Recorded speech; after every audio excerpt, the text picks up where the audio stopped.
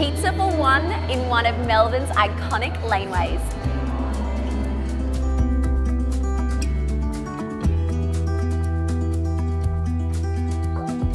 This is what I love about Melbourne. After you spend a day shopping along Bourke Street, you can find yourself tucked away in Postal Lane at Ca de Vin. Now, upon entering, it is everything grand and rustic that you know about Europe. You've got the beautiful wrought iron gates, and as you filter on through, you can see the hustle and bustle of people dining, enjoying their eating experience, and really soaking up the delicious European food they have on offer. I've been getting through this pizza. It has been giving me all of the European flavours that I love and adore. The beautiful aromas of the peperoncino. It is so mouth-watering. Come spend some time at Ca de Vin, enjoy it with your family, with your friends, kick back with some delicious food and a glass of.